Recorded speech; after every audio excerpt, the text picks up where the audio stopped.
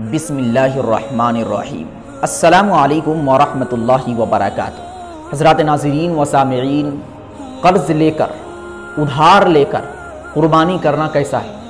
जैसा कि हाल ही में एक शख्स का फ़ोन आया कि मैं अपनी बहन से बकरा उधार ले लिया हूँ। फ़िलहाल मेरे पास पैसा, मेरे पास रकम नहीं जो उसकी कीमत अदा कर सकूँ। तो क्या मैं उस बकरे को कुर्बानी के लिए पेश कर सकता हूँ या नहीं पेश कर सकता हूँ? देखिए, मसला कुछ बारीक है और इस मसले के अंदर दो सूरत पाई जाती है।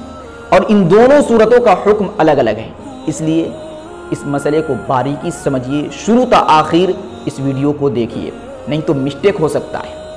पहला मसला और पहली सूरत यह है कि अगर कोई शख्स गरीब है, साहिब निसाब नहीं है तो इस सूरत में अगर वह शख्स कर्ज लेता है, कर्ज लेकर बकरा खरीदता है या कुर्बानी का जानवर खरीदता है, या बड़े जानवर में शिरकत कर लेता है। तो ये शिरकत करना और ये कुर्बानी करना उसके लिए सही और दुरुस्त तो है, लेकिन कराम कहते हैं कि बेहतर नहीं है। क्योंकि कुरान मुकद्दस के अंदर अल्लाह तबारक व ताली ने इरशाद फरमाया, ला नफसन इल्ला अल्लाह तबारक व ताली किसी भी शख्स को उसकी ताकत से ज़्यादा किसी चीज़ का मुकल्लफ नहीं बनाते। यानी आपकी ताकत नहीं है तो फिर आप कुर्बानी ना करें। जब आप पर कुर्बानी वाजिब नहीं है तो आप कुर्बानी ना करें। बेहतर तो यही है। और कर्ज लेना बिना ज़रूरत, अच्छी बात नहीं है।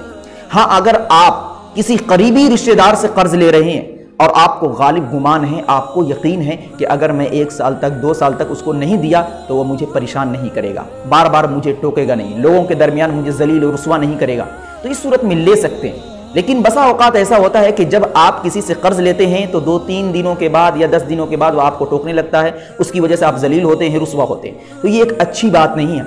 इसी तरीके से अगर आपको ये यकीन है कि आज मैं उससे कर्ज लेकर कुर्बानी कर दे रहा हूँ और पाँच दिन के बाद या दस दिन के बाद फुना जगह से मुझे पैसा मिलने वाला है तो इस सूरत में भी आप कर्ज लेकर कुर्बानी कर दे, कोई हरज नहीं। लेकिन आपको यकीन नहीं है कि ये गुर्बत जो है कब खत्म होगी।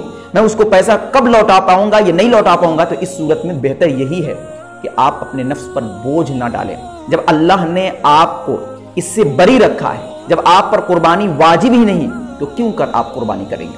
इसलिए बेहतर तो यही है कि जिन लोगों पर कुर्बानी वाजिब नहीं है, वह कर्ज लेकर कुर्बानी ना करें।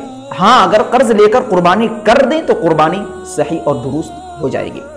यह पहली सूरत और पहला मसला था।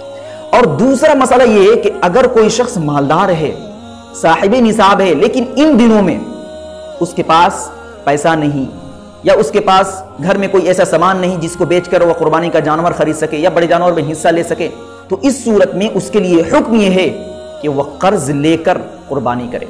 क्योंकि वह शख्स साहिब निसाब है।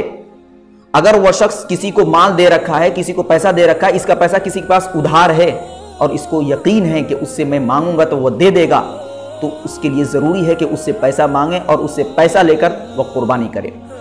जो मालदार लोग हैं, उनके लिए लाजिम और ज़रूरी है कि अगर उन दिनों में उनके पास रकम नहीं, पैसा नहीं तो वह दूसरों से कर्ज लेकर कुर्बानी करे। लेकिन जो गरीब हैं, जो साहिब निसाब नहीं है, उनके लिए ज़रूरी नहीं है कि वह कर्ज लेकर कुर्बानी करे। हाँ अगर गरीब लोग जो साहिब निसाब नहीं जिन पर कुर्बानी वाजिब नहीं अगर कर्ज लेकर कुर्बानी कर देते हैं तो कुर्बानी सही और दुरुस्त हो जाएगी। वीडियो को लाइक एंड कमेंट करें और दीनी मालूम के लिए हमारे चैनल अलहद मीडिया को सब्सक्राइब करके बेल आइकन को दबा दें ताकि सबसे पहले हमारी बात आप तक पहुँच सके।